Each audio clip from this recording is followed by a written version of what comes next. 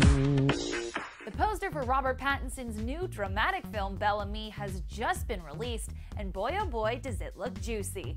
We see a dashing R. Pats with finely combed and slicked hair wearing a vintage blue suit, surrounded by his beautiful co stars Uma Thurman, Kristin Scott Thomas, and Christina Ricci, who are also rocking some traditional 1800s style long dresses.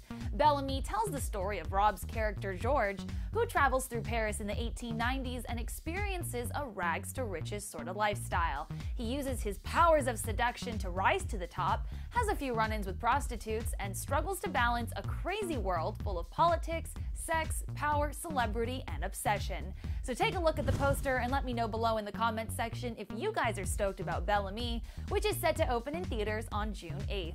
Of course, you gotta hit that subscribe button for me pretty please, so you can keep up with all the best in movie and entertainment news. In Hollywood, I'm Deidre Behar. Thanks for watching.